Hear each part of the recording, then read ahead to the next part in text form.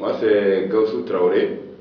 Je suis le coordinateur euh, du Centre national de spécialisation sur le riz euh, du programme euh, productivité agricole en Afrique de l'Ouest, qu'on appelle couramment WAP. dans tous les pays membres du WAP, il leur est recommandé de mettre en place un centre national de spécialisation. Au Mali, c'est sur le riz que porte le centre national de spécialisation. Juste un autre exemple, au Ghana, c'est les racines et tubercules, au Sénégal, c'est les céréales sèches, et ainsi de suite.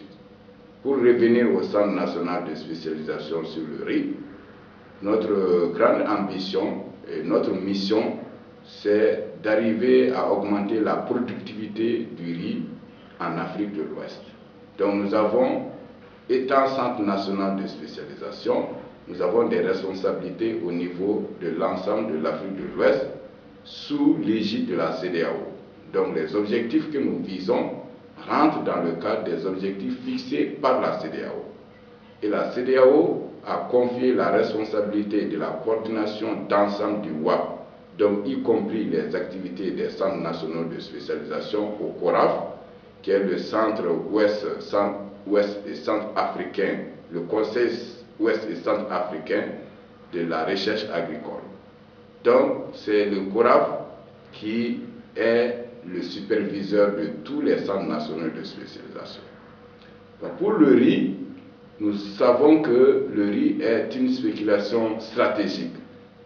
Et nous savons que euh, dans nos pays, non seulement le potentiel est élevé, mais la consommation du riz aussi va en augmentant, surtout dans les grandes villes.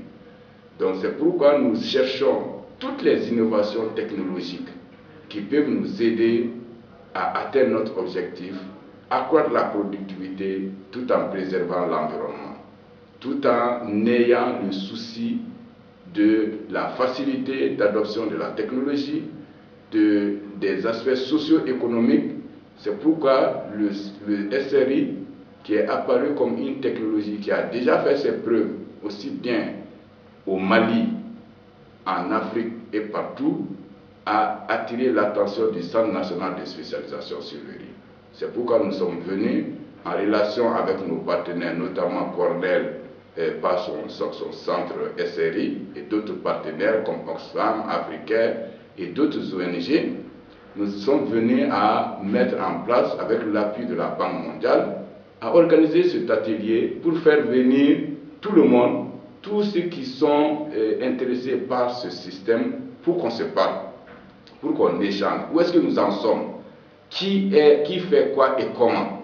Et dans ce cas, avec ce, cet inventaire, nous avons défini au cours de l'atelier un certain nombre d'activités qui sont spécifiques, ciblées sur le riz, qu'on a appelé niche euh, euh, du SRI, et nous avons aussi réfléchi à comment les gens peuvent travailler ensemble, partager l'information, mais de manière beaucoup plus formelle. Donc on a proposé une plateforme d'acteurs qui va aller de bas en haut, donc structurer dans les niveaux nationaux. Tous les acteurs, ça c'est à leur discrétion, ils vont choisir un point focal. Ensuite, on va remonter au niveau régional pour pouvoir accompagner tout ça et même des antennes internationales parce que nous sommes partenaires du niveau le plus bas jusqu'à l'échelon international.